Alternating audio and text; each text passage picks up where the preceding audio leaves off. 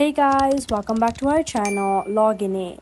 In this video, I'm going to be showing you how to log into your Halifax credit card account online. To do this, firstly you'll have to go to your preferred web browser. Then on the top URL box, you may search for halifax.co.uk and then press enter. This will take you directly to the website.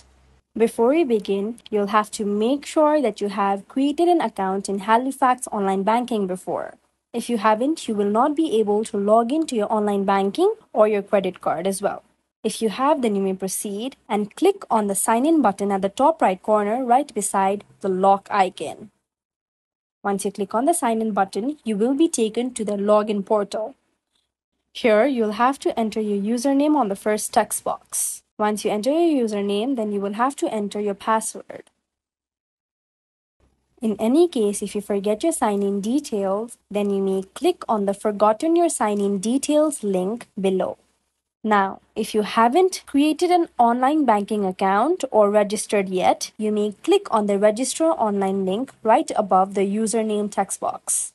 Now, once you filled in both your details, then you may click on the box right below password text box to make sure that this website remembers your username.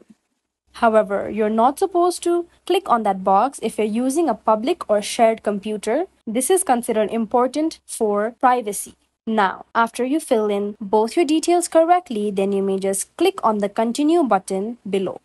Once you click on the continue button, then you will be logged into your Halifax online banking account. This is how you can easily log in to your Halifax credit cards online. If you find this video helpful, kindly like, share and subscribe and do not forget to leave a comment down below. Thanks for watching.